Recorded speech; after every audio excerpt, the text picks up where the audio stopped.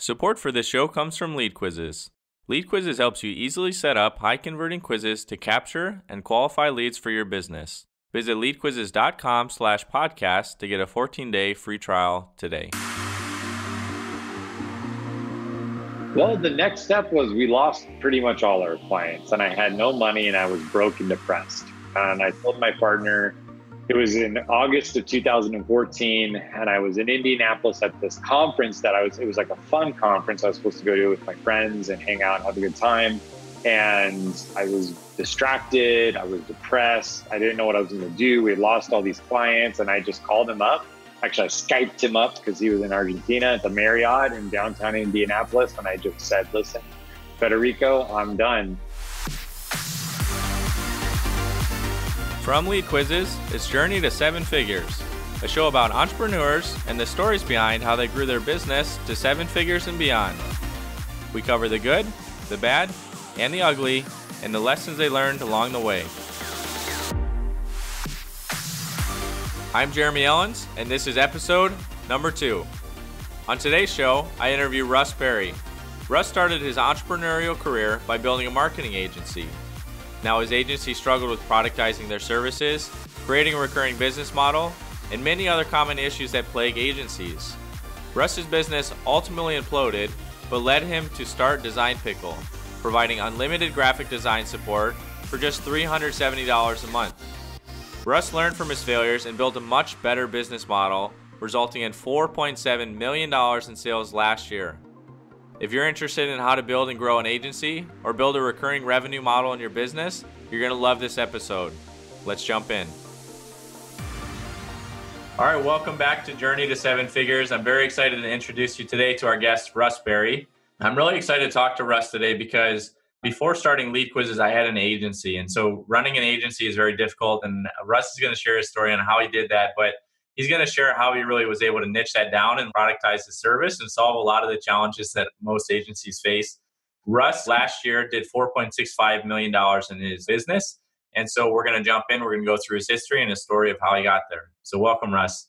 Hey, thank you. And I'd say agencies are beyond difficult. So anyone who actually can succeed with one, I really admire them. That's right. Me too. Cool. So Russ, your company now is called Design Pickle, and so you guys do unlimited graphic designs for 370 a month. Anything else you want to add about that? No, I mean it is a, at our core we just call ourselves a graphic design company, but we've taken technology, we've taken a really narrow focus for it, and we really have a unique way in which we deliver this graphic design, which ends up becoming our competitive advantage. Okay, very cool. So we're going to get back to that, but I want to jump into your story of how you got there. So Russ, let's talk about when you were first starting out, first starting your business. Kind of walk me back. Like, how old were you? Like, why did you decide to get into it? Let's jump in. Well, like my first business ever was I tried to read to people for like a quarter of a book when I was like five years old.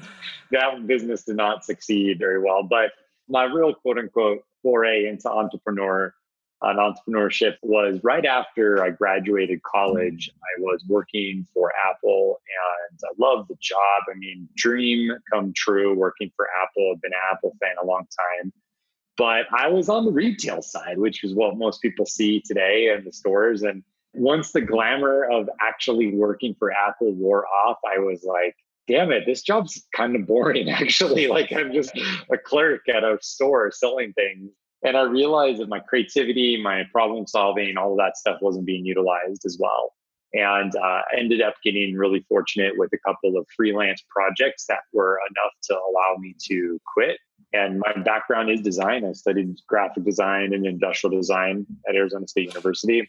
And uh, ended up like, well, that's what I'm going to do. But I also had a business mind. I really liked the business side of things and the strategic side of things. So I quote unquote launched an agency which ended up just being me and a couple freelancers and eventually a few people here in Arizona. And ran that really as long as I possibly could. We had two versions of it. Let's back up for a second. So you oh, started oh, yeah. this agency with like some freelancers. Like what inspired yeah. you to like start doing freelance projects while you were still working at Apple at the same time? Yeah, well, the ultimate, the truthful answer is I had a daughter at a really young age. I was 22. I was a senior in college. And so after I graduated and I had this job, I was really trying to navigate time with her mom and seeing my daughter. Mm-hmm. And I was never married, so it was a bit of a juggle in terms of custody and all of this. And ultimately, like the straw that broke the camel's back was every time I would have time, it was this big fiasco of requesting time off. Like I had to file this report and make sure I had enough time and hours. And then if I requested the time off, but then something changed with my daughter's schedule, like it was really hard to change. And I just said, this sucks. I want to control my own time. And that was literally the reason why I thought I was smart enough to start my own business. I want to be able to not have to fill out these dumb request time off forms. And yeah. so that was it, really. But yeah, I also loved helping people and I loved the strategy. And I knew more than most when it came to branding and design because I had worked for Apple and I learned what it really meant to have emotion in your communications and care more about the feelings and the experience and the product. And that allowed me to kind of have a competitive advantage. So those were really like the core pieces of starting things out. Cool. So what were the first three steps you took after you committed, like I want to start doing this like freelance work? Well, the first step before I even committed was know how I was going to get paid. Okay. I didn't start the business and then try to find a client. I had a client lined up ready okay. for me. And in fact, I was doing both for a brief period of time. I was working at Apple during the day and freelancing at nighttime. So that freelancing just became impossible to really do because I only could work at night after I was done working during the day. And that's when I took the leap to full time. But I had the money lined up. It wasn't a lot. There was only about 90 days worth of runway, but that was enough for me to take the leap. And after that, it was just really incrementally always just knocking down that next milestone, whether it was getting a few more clients, formally creating a business entity, starting some marketing, hiring people, and just was a little bit, little bit, little bit, quite some time. So, how did you first knock the first ones down? Because if your story is anything like mine when we started Yasmo, our, our agency, like we would pretty much take anything we could oh, get. Like, Well, I had a whale of a first client. It was a buddy I went to college with, and he ended up getting a marketing job at a corporate position with a division of LG, like the electronics manufacturer. Although I didn't work in that cool division, I worked in the very boring division of countertops and yeah. solid surfaces. so, but it was just tons of design, tons of production. We were close friends. I mean, we were doing a ton of work right out of the gates. So whether that's luck or great networking or just validation that hey, a higher education could pay off even today, then then that's all that it was. And from there, that work and that notoriety, hey, these guys worked with LG, that was a strong point in terms of sales to find other local clients. Cool. And it was all boots on the ground networking. I mean, asking, talking, telling, and thankfully during the time i mean really the internet was exploding mobiles coming onto the scene there's tons of stuff with social like it's just really growing fast so people needed help and it didn't take a lot of work to get into a conversation where someone was just like oh hey i need help with my website or hey i need help with my brand it sucks i need to do this. But that was all one-to-one sales and it was like really really time consuming and our deal sizes were really big relative to our volume of clients. So as you know now, like you lose one client, it's not like the end of the world. But if you lost one client as an agency when you only have 10, man, that could be like it's a big deal. Yeah, that could be like no Christmas for you. yeah.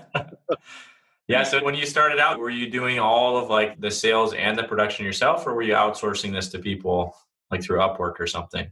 So the design with my first agency, the first iteration of it, we had our whole team here in Arizona. So okay. everyone was hired here. We had an office down on Mill Avenue in the Brickyard. Like we were really committed to that model, but it didn't work. Like we couldn't scale. We were the generalist agency. So I attempted what ended up becoming the decision that gave me the confidence for our current business model but I found a partner in Argentina really randomly, to be honest. A subcontractor that we had had was from Mexico City. She had connections in South America. And I met this guy from Argentina, and he's like, dude, I got this creative team down here. It's less than your team there. Why don't you run the clients? I'll do the design, I'll manage the designers. And I was like, this sounds awesome because I did a really bad job of managing people when I had my first agency. So that ended up becoming, on paper, a good plan. But again, this lack of niching, this lack of a specific focus killed us and crushed us because every time either we got a new project, it was kind of a one off, or every time there was a challenge or a problem in a current project, it was so unique that there was no way to improve our process or figure out a better way to deliver whatever it was we were selling. Cool. So what originally was like this, like, hey, work with this cheaper team in Argentina and you can make more money because it's going to cost less. There was just so many errors and mistakes and written off revenue that we ended up closing that too, just because it was didn't work. Okay, so you're making a lot of mistakes that most agencies made. I've made these mistakes. so when you talk about niching down, are you talking about productizing your service? Or are you just doing branding and design at the time, or what are you doing? You know, at the time, I could not care less about. I would have been happy with any niche, like okay, going after you know Arizona like farmers or something. Like it would have been fine for me. But this was a partnership collision that I was never able to get through, and we got super close to niching, and and we started to, to implement and sell HubSpot, which I loved, and I love the tool. We're actually a client of them now. Again, after all these years and the problem was we misestimated, underestimated the amount of technical implementation that was required to really get these things dialed in. So this, remember, this was like 2012, 2013, going into 2014. So these tools were, were there, but even in two or three years, they weren't as common as they were now. So I sold the shit out of it. I sold like half a million dollars of HubSpot implementation, all this mm. stuff, and we just couldn't deliver. And that was like that was the kiss of death for us. So we like eventually did niche. We just didn't understand the true way to do what we were selling. Okay. and, and we had to close shop. Okay, so that was a problem. Like when you were selling, like you were actually getting sales, was that still like hustle and referral? did you start to generate some predictable sources of leads? Dude, always hustle and referral. I mean, I was terrible at it because we didn't have a niche, so we weren't experts at anything we weren't doing great with our current clients, so no one was referring us. We had a really super general website, so it was an impossible digital funnel to have. Even my coworkers and friends and my even my mom never really knew what I did, so no one could just tell us, "Hey, you got to go work with these guys." So it ended up just becoming how good could Russ Perry sell? Period. Sure. And, and I so, eventually didn't want to do that anymore. And it sounds like you didn't have a lot of recurring revenue either. Zero. Okay. I recurring negative revenue if that counts. Like yeah. okay, so that was a problem. Productizing as far as saying like, all right, we're going to do something really specific. Like we're going to help you set up a blog with HubSpot and make your content marketing work really well. That was our attempt. That was our yeah. attempt. yeah, we couldn't pull it off. Okay, so those things weren't working well. So it sounds like you got some like pain moments. You started losing some clients, so they weren't referring you. So what was the next step in that? What happened? Well, the next step was we lost pretty much all our clients, and I had no money, and I was broke and depressed. And I told my partner, it was in August of 2014, and I was in Indianapolis at this conference that I was. It was like a fun conference I was supposed to go to with my friends and hang out and have a good time. And I was distracted. I was depressed. I didn't know what I was going to do. We had lost all these clients, and I just called him up actually I Skyped him up because he was in Argentina at the Marriott in downtown Indianapolis. And I just said, listen, Federico, I'm done. And he knew the writing was on the wall.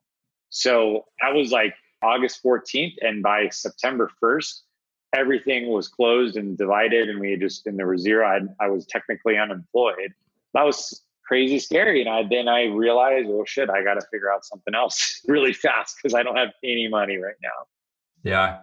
Okay, so that was like a really hard moment for you. How did you get through that, or how did you overcome that when you decided you wanted to move on? Well, it was beyond a hard moment. It was a terrifying moment, and and a moment too in which my identity was stripped away from me. So aside from just not having money, I didn't have my identity anymore. Mm-hmm. I was the guy that would go to the family event or the party or the kid's birthday or whatever, and it was like, "Oh, Russ, how's business?" Blah blah blah. And those questions were still coming. But to be completely honest, I just say, well, like I actually lied at the time. Like I'd be like, oh, it's all right. It's, you know, business is tough. Oh, just kind of like a super generic answer. And I was in entrepreneurial groups at the time and all this stuff, accelerators. So it was just like, it was hard to to lose all of that but also at the same time it was very therapeutic because i finally had just a completely clean slate mm-hmm. no clients no partner no employees. And so the first 30 to 60 days was just like let's get a band-aid on this cash flow situation. And i got a couple consulting deals you know through friends and friends and and at least got my base covered through that. So i had some breathing room. And once that was established then i said well look i don't have a clue on what i'm going to do maybe i could hire somebody a coach or somebody to help me out and that's what i did i invested in several coaches and consultants and went to events. I went to this like all women's event. It was me and one other guy and like 25 women talking about all sorts of stuff. But that introspection and that that willingness to bring in outside perspective, I think really primed my mind to eventually put together what became Design Pickle, which ended up happening around December 2014 so, two to three months after everything fell apart. Okay, so two to three months after you started getting ideas for Design Pickle, which was at the time, was it still unlimited design for a flat rate per month?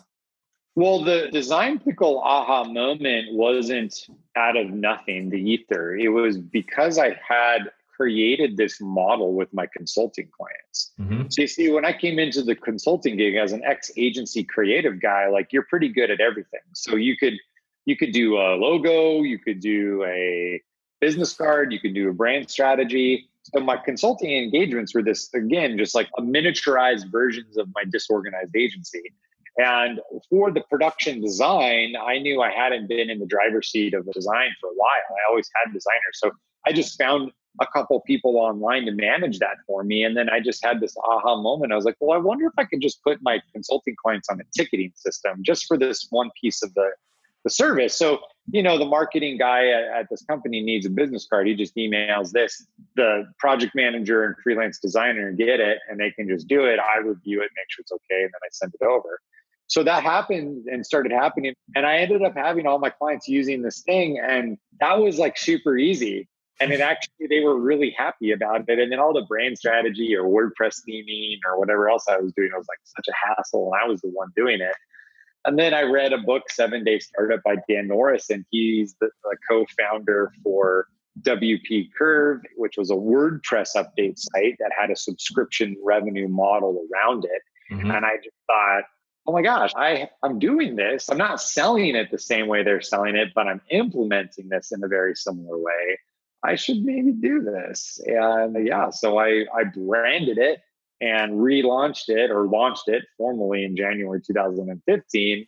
And from that moment, we did stick. And I knew in my mind, like, I want subscription revenue. I want subscription revenue. I want subscription revenue.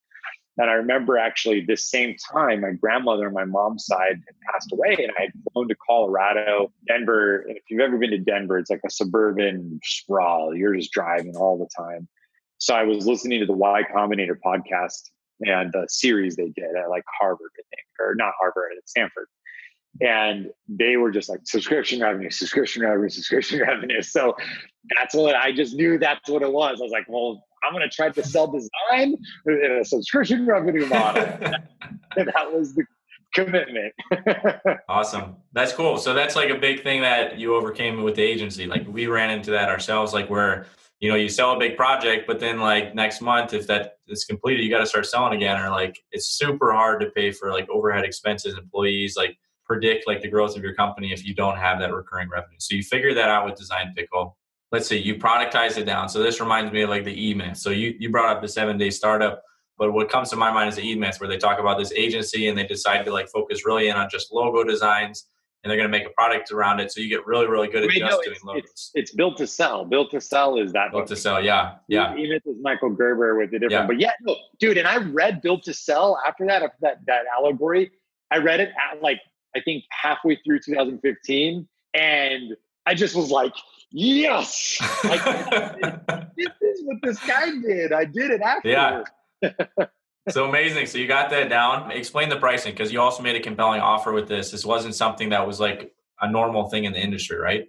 Well, and that was the the other piece. Yeah, so there was a subscription revenue component to it.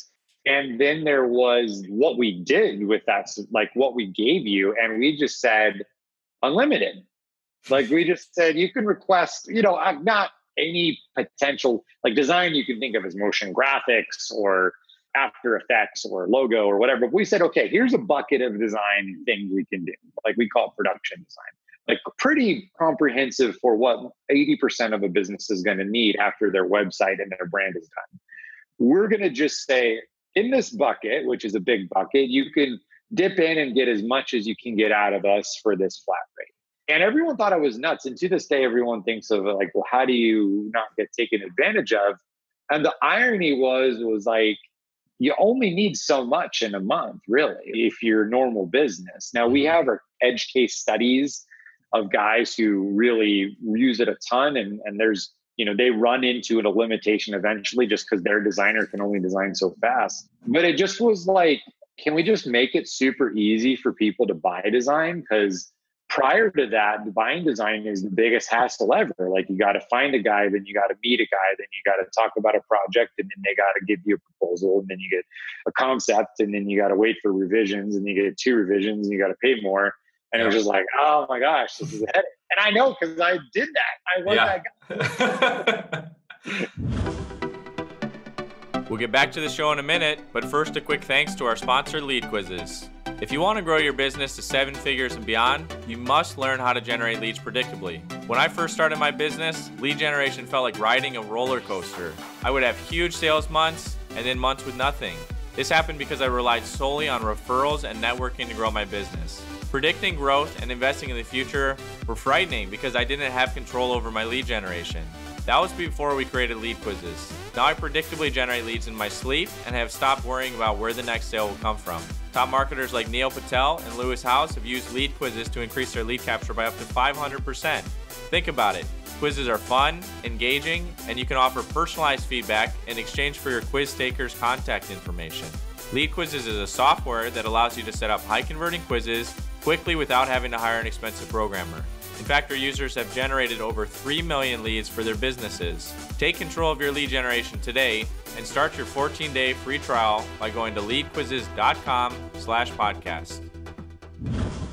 Okay, so you figured out just a lot better business model. So I think this is interesting. I have a mentor who's uh, he's on the board of this hundred million dollar investment company, and one of the things interesting that he said about like raising money is like, I think between now and if you like raise money, you're going to work exactly the same amount of you know hours you're going to work just as hard as you would like later. So i think that's something interesting about the agency. I'm sure you were working just as hard in the agency as you were with design pickle. You just found a better business model.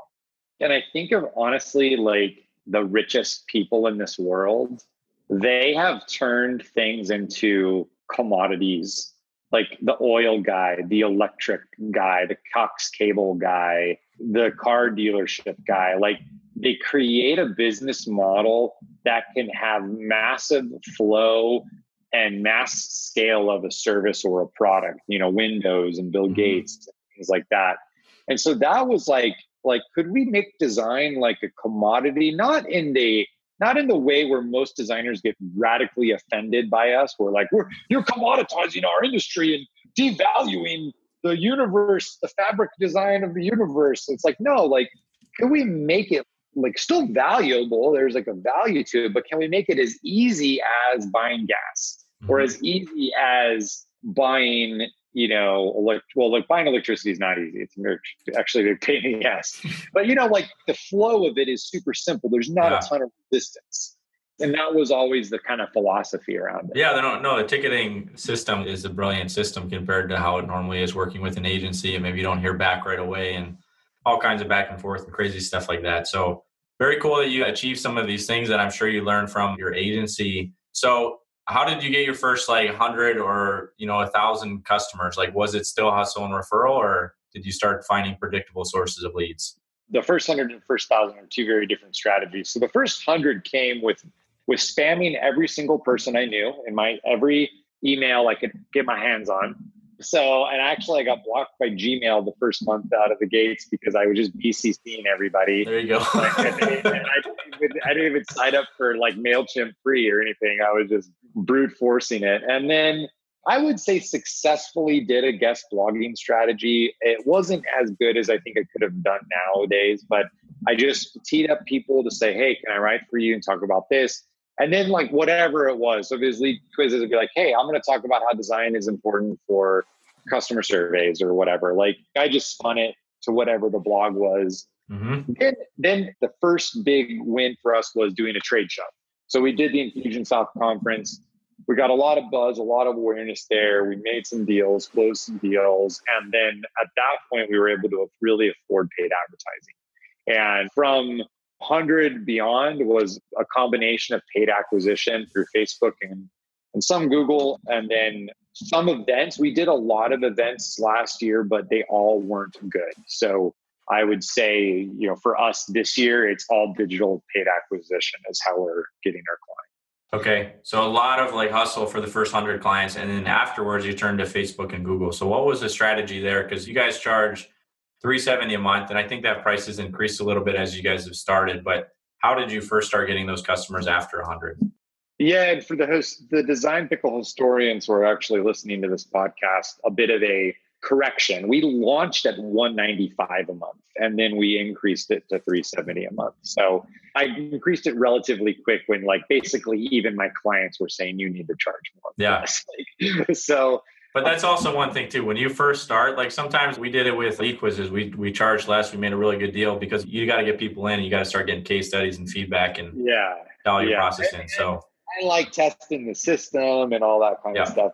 But we went to the point in the paid acquisition for us, we needed enough money to be able to like lose money and not be like losing the money we're trying to use to pay ourselves. Mm-hmm. So that's why we had to wait a while. And then what's kind of nice about a product that's priced in, I think, over a hundred dollars and it's paid in full, like up front, like we close somebody, we that transaction comes in right away. Simply put, is we can afford to buy clients. It's really hard to buy a client if your first month's revenue is seven dollars or nothing. Because you, you know, like you just can't ROI anything on.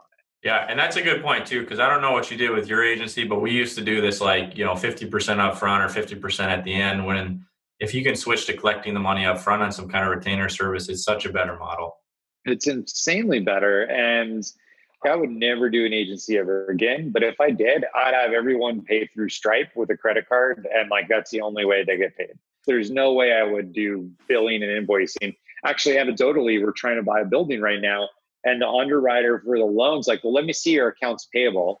I'm like, well, I don't, I don't have one. He's like, what do you mean? I was like, well, here are 2,000 emails and 2,000 credit cards. I don't actually show them the credit card numbers. I don't even have access to that in the report. But like here's 2000 emails and I have all their credit cards and I just bill them every month. It's like, what? Like, it's just so like they don't understand. I've had to go around like email, like three different rounds of emails trying to explain this to these. Yeah. awesome. So you're collecting money up front, which means you're able to acquire customers. So you're running ads on like Facebook or Google. And then what are you sending them to? Right to a sign up page and that's working or what do you do?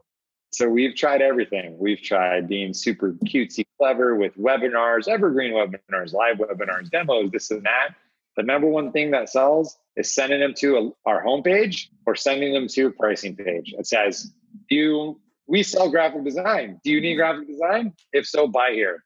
All that other stuff, like opting into a, lead funnel or whatever, like it just elongates the sales cycle because what we're selling is really different than like say what you're selling. Like i'm selling a commodity of a business that pretty much everyone understands. They may understand it differently. You're trying to sell a new way to market and aggregate data and collect data that i would understand easily but let's say the doctor's office that may want it like you got to explain it a little more or, show them the why this is valuable because they've never done that before so I'm not saying my way works better than others. It's just because I'm selling a simple thing mm-hmm. that time and time again, sending traffic to a sales page, direct response ads just works the best. Okay. Awesome. And then so for you going from a thousand customers to scaling up to like you said, four point six five million dollars in a year, is that just continually, you know, driving Facebook and Google and then making sure you're retaining those customers? Continuing to increase our ads and doing a good job with our clients. Awesome. A couple of things I'm interested in here. So, like, any recurring business, whether it's software or even as an agency, like retention is a huge thing. So, what are you doing to really focus on your retention? Well, oddly enough, our retention is made or broken in the first seven days of our client experience because if a client has a challenge communicating or getting their first design back correctly, then they will churn out and cancel and want a refund. If we can deliver that first experience in a solid way, then the next 10 things can have problems and they'll still stay with us mm. because they know what's possible and they will stick with it. So it's a very different type of scenario for us. And also, like, we have a very just frustrating, but also a churn problem of happy clients that we just have no way we can solve. It's like, Russ, signed up for your service, use it for three months. I love it. I got my project done we're moving on. Thank you so much. and they're just like, ah, what can we do? Nothing. You guys were great. I love you guys. Oh, how about this? No, yeah. I don't need. It. I just don't need it. yeah, so I think the lesson to take from that is like for your retention, you found it's really focusing on the customer experience and having a, enough people that went through it. You can see the data that if they make it through the first seven days, they're going to stick on. Yeah, and they don't even need to finish their first project in that time. They just need to have a a warm experience. They need to feel like they're being listened to. That first mock up needs to be right on or close to it. And, and if we can do that, we're in good shape. And for a service business, this is pretty high, or for a SaaS business, this would be considered high. But we are continually at 11 or 12% churn rate. So to us, that's solid. Like we're really happy. I hope to get to single digits one year, but there's just unavoidable churn of super happy clients that just bring that up a couple points. Sure. Okay. Awesome. One of the other things that you've done that's made this like model work for you is outsourcing. Do you want to talk through like that strategy, what you've done to make that work? Yeah, so it's outsourcing in the very literal sense that our design teams in the Philippines, but I call it like full time outsourcing in that we treat these team members like our team and they're paid like a full time team member. So yeah we're not just trying to compile a bunch of random people and throwing up design jobs. Hey, who wants it? We have trainings, we have systems, we have culture, we have managers, we have promotions, we have benefits, we have all of this. But our core team is located in a part of the world where economically we can pay them extremely well, like more than three times the average salary that they would normally get. And economically, for a business, located in the United States, it's still a lower cost of labor than hire 100 US designers who have a much higher cost of living and require a much higher salary to maintain. And what about like the appreciation and loyalty of like those kinds of people? You know, I'll piss some people off, but I say this as one of the people who used to be in this bucket. US and Western designers, a lot of them are insanely egotistical. They think design is a elite type of experience that you can only get access to if you can afford to pay enough money and even some guys primarily dudes who rattle off on our facebook ads that have a level of racism involved that if you aren't working with a us designer that you're somehow destroying america. And which is ironic because these same guys i'm sure use apple computers which are made in china and i'm sure they use uber which their first app was programmed in south america. So like it's, uh, it's stupid. But for the design team that we have in the philippines we're creating such a high quality of life for them they are so appreciative and they're happy and they're just pumped up and like i wish i could have thought of the business model to hire us designers and pay them $120000 a year because I'm sure I'd have the same irrational loyalty to some degree. Yeah. I just haven't thought of that yet. So I have been the business model that I can doing the best of.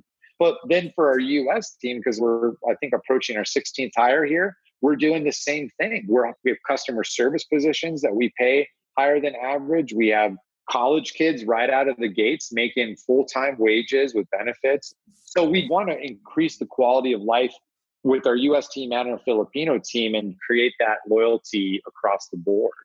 Yeah, I think that's really smart. And the other thing that you mentioned here that I think you did a good job with is like hiring them full time. Like if anyone's ever hired, you know, virtual people and you put them on for 10 hours a week or a project at a time, my experience has always been like you can encounter a lot of flakiness because they're always looking for that next job or looking for something else, which is understandable. But you know, you figured out if you put them on full time and you pay them competitively, it's usually going to be a good recipe. Absolutely.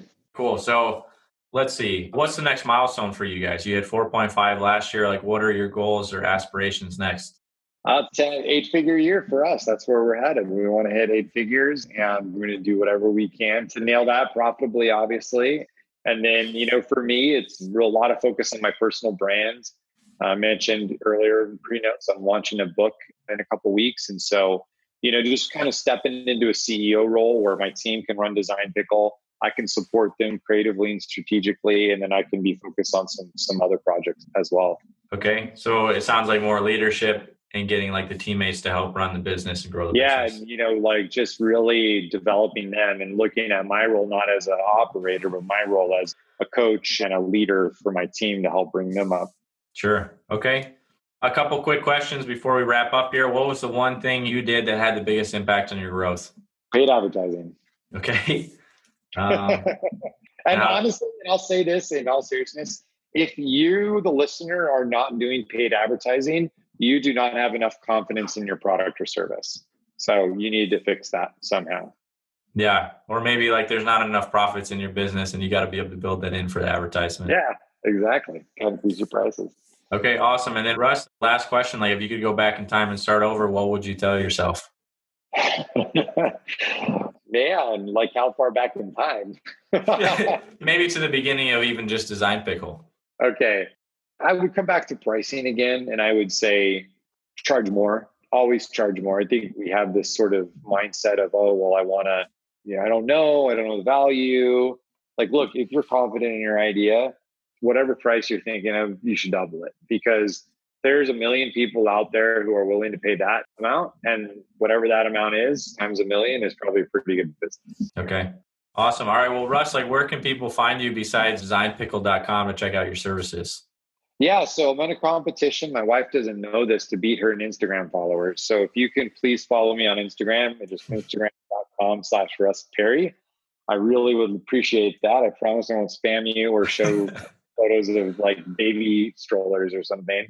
uh, and then, you know, if you're interested, we won't have time to go into today, but I'm launching a book and we're giving away a free copy. It's called the soberentrepreneur.com you don't know how to spell entrepreneur, just give it a shot. Google will fix it. and uh, that's a very personal story of my entrepreneurial journey, also around my personal struggle and as well as overcoming alcoholism. So that's a pretty big topic, and I talk all about it. And that book's coming out in just a couple weeks here. Awesome. Well, Russ, like, thanks so much for coming on and sharing your story to hit uh, seven figures. It was really helpful. I think we unpacked a lot of lessons that'll save people a bunch of time. I know it would have saved me if I had heard this before when I started my agency. me too. All right. Thanks a lot. I appreciate it. All right. Thanks, Russ. Thanks again for listening to our show this week. If you want to find out more about Russ Perry and the lessons he shared today, or read our show notes, visit leadquizzes.com slash two.